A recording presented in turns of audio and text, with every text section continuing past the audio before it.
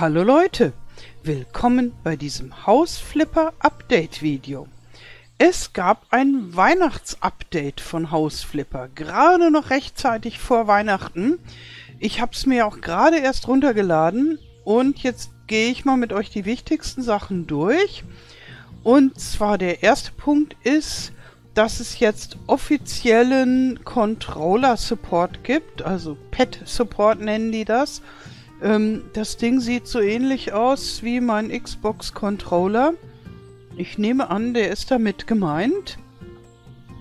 Und in den Patch Notes oder in den Update Notes haben sie auch geschrieben, ob das vielleicht ein Hinweis darauf sei, dass es Hausflipper auch bald auf Konsole geben würde. Fragezeichen, so ungefähr. Also vielleicht gibt es Hausflipper auch bald für Konsolen. So habe ich das verstanden. Und das zweite ist, es gibt ein neues Haus. Und zwar ist das das Haus von Home Alone. Und Home Alone ist der englische Titel von Kevin allein zu Haus. Und ich denke mal, da wird so einiges an Überraschungen auf uns warten. Ich habe keine Ahnung, ob ihr den Film Kevin allein zu Haus kennt. Ich habe den vor gefühlten Jahrhunderten geguckt also ein ziemlich alter Film, wo ein Junge allein zu Hause bleibt und sehr viel Unsinn macht. Der Schauspieler von diesem Kevin ist inzwischen längst erwachsen. Also das ist wirklich Jahrzehnte her. Und ausgerechnet dieses Haus haben sie jetzt nachgebaut. Okay, gut. Und es gibt neue Weihnachtsgegenstände. Also hier so die üblichen Deko-Sachen, immerhin auch mit Weihnachtsbaum und Geschenken und ähm, solchen Socken. Jo, in englischsprachigen Ländern ist es ja üblich, Geschenke in solchen Socken zu verstecken. Es gibt neue Kamine. Also hier so ein Ofen und ein paar schöne Kamine, finde ich eine tolle Sache. Und das Einschlagen von Wänden soll verbessert worden sein. Es, man soll eine bessere Erfahrung damit haben. Da bin ich schon sehr gespannt, denn ich schlage ja gerne Wände ein, um ähm, den Grundriss neu zu gestalten. Und das ist doch schön, wenn das noch toller wird. Und das Hauptmenü wurde verändert. Und eine Veränderung vom Hut Okay. Und noch ein paar kleinere Verbesserungen und so weiter. Äh, mit dem Fensterreinigen soll noch besser sein und ja, das Zusammenbauen von Objekten soll besser sein und richtige Texte, wenn man diesen kakerlakenfreien Modus gewählt hat und so weiter und so fort. Das schließen wir jetzt mal. So, ich mache hier mal Spiel fortsetzen. Und jetzt frage ich mich natürlich, habe ich genug Geld, um dieses neue Haus zu kaufen? Noch weiß ich nicht, wie viel das kostet. Ich habe gerade mal 106.000. So. Gehen wir hier mal rein. Ah, und es soll auch auf dem... Ja, das sieht schon alles irgendwie etwas anders aus. Also hier so, wie das E hervorsticht. Auf dem Laptop soll es auch was Neues geben. Mal gucken. Ob hier bei, den, bei der Mail? Nein. Das sieht alles aus wie gewohnt. Vielleicht hier? Okay. Das ist hier mein Bürohaus. Und dieses Haus ist irgendein Haus, was ich mal ausbauen wollte. Hm. Ich habe schon überlegt, zur Not verkaufe ich das, aber ich glaube, das kann ich dann nie mehr ausbauen. Das hier ist das, das Gruselhaus und das ist das rosa Haus, das ich gerade renoviere. Ja, hier sind die, die neuen Häuser. So. Bunker vom Onkel, Familienhaus. Oh, da kommt es. 158. Alleinhaus. Nee, 158 Quadratmeter. 340.000. Ach du liebes bisschen. Wie soll ich mir das denn jetzt kaufen? Selbst wenn ich wenn ich zwei Häuser verkaufe, kriege ich nicht so viel zusammen. Ich gucke mal, ob man die wieder kaufen kann, wenn man die mal verkauft hat. Nee. Oh, wie schade. Ach, da wollte ich jetzt gar nicht hin. Tja, wie haben sie sich denn das gedacht? Da machen sie so ein tolles neues Haus und das ist dann so teuer, dass man sich das gar nicht leisten kann. Hm. Und ich habe keine Ahnung, wie man sich hier Geld ercheatet. Ob man das überhaupt kann.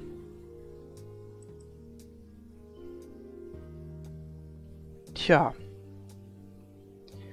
Nun, da muss ich mal in mich gehen und ein bisschen rumgrübeln, ob ich da eine Lösung finde, wie ich dieses Haus kaufen kann. So, es ist mir gelungen, mein Geld zu verzehnfachen. Jetzt kann ich mir auch das neue Weihnachtshaus kaufen. Okay. Kaufen wir das gleich mal und gucken es uns an. So. Jawohl. Eieieiei. Ja, da sieht man schon das Chaos. Okay. Dann kaufe ich das mal. Und dann gehen wir da auch gleich hin. Oi. Ja, ihr fragt euch bestimmt, was wird aus dem rosa Barbie-Haus? Das mache ich natürlich weiter, aber da jetzt dieses Weihnachtshaus aktuell ist, ähm, mache ich da erstmal zumindest ein bisschen was. Und dann geht es weiter mit dem Barbie-Haus. Ich habe auch noch eine Folge, die ist schon aufgenommen. Die kriegt ihr dann auch später zu sehen. Vielleicht mache ich jetzt diese Folge und noch eine Folge mit dem Weihnachtshaus und dann geht es erstmal mit dem Barbie-Haus weiter. So. Jo. Alles schön verschneit. Ja, so ein bisschen verschneit. Interessantes Haus. Gehen wir mal hin. So. Ah, und da geht es jetzt gleich schon los. Lauter Spielsachen. Ah, vielleicht kann man die irgendwie hier so in die Ecke räumen. Weil die müssen wir ja nicht unbedingt wegwerfen. Eine kleine Autosammlung. Na komm, stell dich hin. Ja, Wieso wurde hier nicht aufgeräumt? Ja, Geduld, Geduld, Leute. Ich bin gerade dabei aufzuräumen. Ups. Was ist das? Oh, ein Fahrrad. Wie cool. So, lauter gleiche Autos oder fast gleiche. Das will da nicht hin. So, hier. Hey. Ja, prima.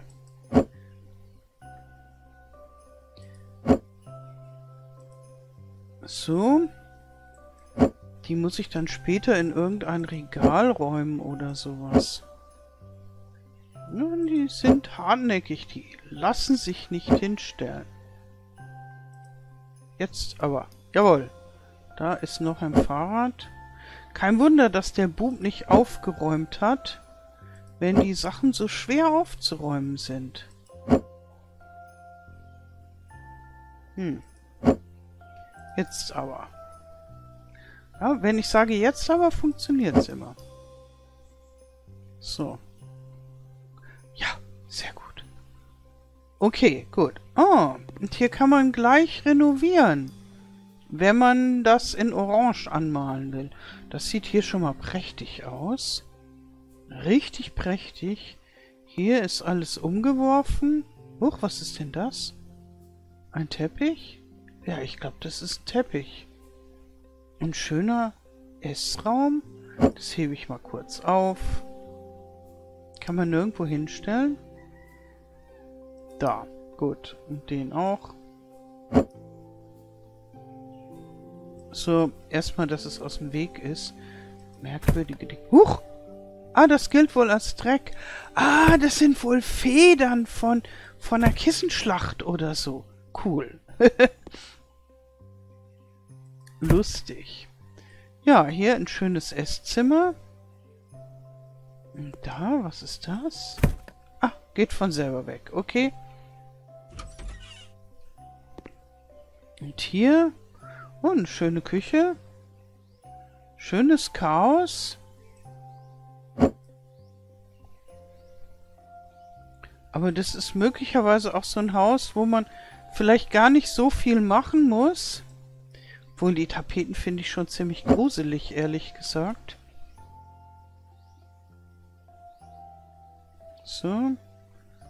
Ich habe den Eindruck, irgendwie ist das Stellen von Sachen schwieriger geworden.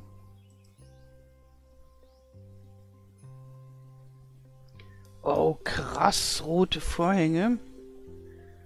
Naja, vielleicht muss man hier doch viel machen. es ist so teils, teils irgendwie. Tja, wo stellen wir diesen Stuhl hin? Der passt nicht mehr an den Tisch. Den stelle ich jetzt erstmal dahin. So. Sehr gut. Das ist schnell mal aufgeräumt. Und vielleicht sollte ich auch gleich eine Runde putzen, überall wo ich vorbeikomme. Ja. Gespült hat er auch nicht. Ja, aber ansonsten ist es ja eigentlich ganz in Ordnung hier. So. Jetzt mal einen Supermob rausholen. Da müsste noch irgendein Dreck sein. Ah, Tasse spülen. Ja, genau. Tasse spülen mit dem Schrupper. Da wird die bestimmt auch sehr, sehr sauber. Jetzt gehe ich hier nochmal in den Vorraum, weil hier war ja auch ziemlich viel Dreck, damit das mal schnell weggemacht ist. So, da hat er mit den Farben rumgekleckst. So. Ah, also hier die Tapete, die finde ich schon gruselig. Ich meine, gut, ist so ein altmodischer Stil. Das haben die Leute mal richtig schick gefunden. Als ich in mein Haus eingezogen bin, hatten wir auch lauter so ähnliche Tapeten. So mit solchen großen Ornamentmustern. So, hier gibt es mehrere Türen. Ah ja, okay, gut. Und hier? Ah ja, das ist hier wieder die Küche, genau. Okay, also zwei Wege in den Keller. Oh, dann gehen wir doch gleich mal in den Keller. Es ist zwar normal nicht so das Erste, was man hier besichtigt, aber... Oh, ein ganz normaler Keller, so wie es aussieht. Kann man gleich mal ein bisschen putzen, wo ich den Schrupper schon in der Hand habe. Und danach räume ich dann gleich mal alles auf. Ja, Werkzeug, so ein Werkstattkeller. So. So, ne. Jetzt. Jetzt räumen wir einfach mal den ganzen Krempel auf, den man so mit einem Griff schnell wegkriegt. Und dann sieht das gleich schon wieder manierlicher aus. So, das kann aber unmöglich der Bub gewesen sein. Obwohl, natürlich, das kann er schon gewesen sein. Aber ähm, vielleicht ist der Vater ihm ein leuchtendes Vorbild in puncto Unordnung hinterlassen. Was haben wir denn hier? Ah. Ähm, das kann erstmal bleiben. Ja. Oh, hier, hier, hier, hier geht's noch weiter. So. Oh, hier geht's nach draußen. Cool. Ja, oi, oi, oi, oi, oi, oi. So. Na? Irgendwie komme ich da nicht dran. An diese einsame Flasche. Immer noch nicht. Kuckuck. So, ah, jetzt. Ja, lasse ich die... Nee, ich lasse die Kellertür nicht offen, sonst wird's ja kalt. Äh, ich wollte wieder in den Keller gehen. Kellertür zumachen. Und jetzt gehe ich hier oben rum. wieder ins Haus. Ja, noch eine Tür von, zu der Küche. Die Küche ist hier so ein richtiger Schaltraum sozusagen mit lauter Türen. Das können wir auch zumachen. Und dies hier eigentlich auch. So, und das hier Esszimmer. Da müsste hier da drüben mal langsam das Wohnzimmer kommen. Oh, mit Klavier. Also sogar Flügel. Und unglaublichen Kitsch-Tapeten. Aber ganz schön Bildern. Und Weihnachtsbaum. Ah, und hier ist auch, so sieht das auch aus auf dem, auf dem Bild zu dem Update. So, kann man hier auch beleuchten? Bestimmt. So. Vielleicht ist eine Sicherung durchgebrannt. Ähm, da müssen wir mal einen Sicherungskasten suchen. Sollten wir mal machen, damit es schön hell wird. So, normalerweise sind Sicherungskästen ja im Keller. Ähm, oder hier so. Nö. Da ist einer. Tap, tap, tap, tap, tap. So. Montieren, jawohl. Die sieht kaputt aus. War's doch schon. Okay. Oder nicht? Was das jetzt? Ähm, schließen. Anscheinend war es das. Gut. Tap, tap, tap, tap, tap. So, jetzt probieren wir das nochmal mit dem Licht. Das Haus an sich ist irgendwie ganz schön. Ist ja auch teuer genug. Ja, ja, so ein bisschen funzelig. Haben wir hier schon Licht. Und kann man den Kamin anmachen? Ja. Oh, wie romantisch. Und die Geschenke gedrückt halten, um aufzuheben. Den Dreck mache ich mal weg. So. So. Das Wohnzimmer ist schon irgendwie etwas popelig. Also dafür, dass es so ein großes Haus ist und eigentlich recht schick und so, finde ich das Wohnzimmer so mit dem Sofa äh, popelig. Durch den Weihnachtsbaum und Kamin und so finde ich schon schön, aber so, ja, vielleicht sieht das so aus bei Kevin allein zu Hause. Wie gesagt, als ich den Film geguckt habe, das ist vor ja, 30, 40 Jahren gewesen oder so. Oh, und was ist hier? Das ist dann wohl das Herrenzimmer. Oder sowas. Ah, hier hat wieder jemand Dreck gemacht. So. Ja, auf jeden Fall ist das irgendwie so eine Art Zweitwohnzimmer. Mit Schreibtisch. Das Herrenbüro. Na, vielleicht auch das Damenbüro. Aber es sieht mehr so aus wie so ein Herrenzimmer. Okay. Und hier, oh, jede Menge Zimmer. Wow. Das ist schon toll, das Haus. Ähm, was ist das? Ein begehbarer Schrank. Okay. Also ich würde sagen Abstellkammer, aber vielleicht ist es ein begehbarer Kleiderschrank. Das klingt ja viel toller als Abstellkammer. Wieder diese grässliche Tapete. Aber ein schönes, großes Schlafzimmer, kann man nicht meckern. Mit Kamin. Ich hoffe, das brennt dann nicht ab. Und hier tatsächlich ein Master Bathroom, also ein Elternbadezimmer. Oh, das ist schon schick hier, auch mit Schreibtisch und so. So ein schickes Haus und dann so ein popliges Wohnzimmer. Und hier ein kleines Kinderzimmer. Ja. Hier könnte man die Autos hinbringen. Und hier ein Badezimmer. Das ist dann wohl das Familienbadezimmer in Grauselgrün. Oh. Noch ein äh, begehbarer Kleiderschrank.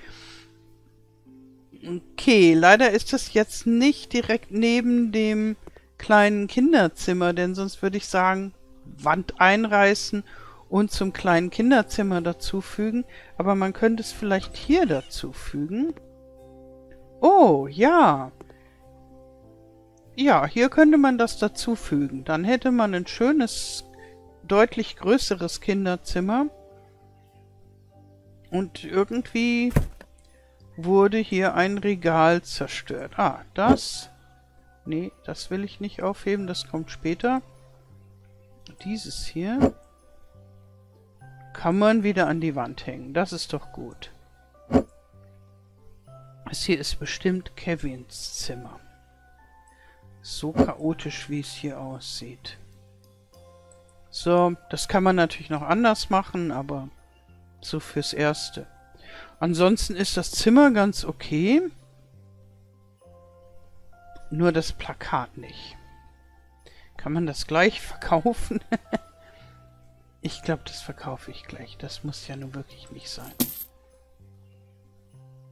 So. Also, zwei Kinderzimmer haben wir schon. Eins mit Vergrößerungspotenzial. Und hier... Oh! Wow! Hier ist noch ein großes Zimmer. Mit diesem etwas unheimlichen Hasen und eine ziemlich krass orangene Tapete. Oder ist das Holz? Ich glaube, das ist Holz. Ist das hier Balkon? Nee. Huch! Oder doch? Nee. Aber das ist ein Bodenfenster, was man so aufmachen kann, dass man dann da rausspringen kann. Ganz toll für Kinderzimmer. Eine sehr gute Konstruktion, Leute. Was habt ihr euch denn dabei gedacht? Gut. Also ist aber ein schönes, anständiges Kinderzimmer mit so einem komischen Schlauchzugang. Und hier ist noch eins. Ja, das ist jetzt wieder klein. Aber ist okay. Also vier Kinderzimmer habe ich jetzt gezählt. Und eins davon könnte man hierdurch vergrößern. Ja, da kann man sich dann auch überlegen, wo macht man, dann macht man hier eine der Türen raus. Entweder hier so eine nette Nische zum Schlafen, ist vielleicht dann gemütlich, so ein kuscheliges Nischending.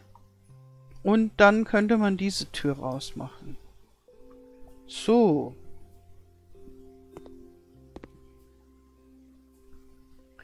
Ja, dies hier könnte man natürlich noch einreißen, um das Elternschlafzimmer zu vergrößern. Aber eigentlich ist das groß genug. Ich mache mal hier das Feuer aus. Ja, da muss man nichts einreißen. Da muss man nur eine andere Tapete machen. Und das kann man ja lassen als begehbaren Kleiderschrank. Okay. Und hier Ach, ich denke mal, dass damit kann man zur Not leben mit diesem Zimmer. Es ist halt ein kleines, etwas freudloses Kinderzimmer. Könnte man vielleicht ein bisschen andere Wandfarbe machen und Vorhänge und sowas. Dann sieht das freundlicher aus. Ja. Teilweise ein Haus des Grauens, aber teilweise auch sehr schön. Also die die Fülle, ein paar Flecken und das Haus ist perfekt sauber. Wo gibt es denn da noch Flecken? Na, die werde ich schon noch finden. So.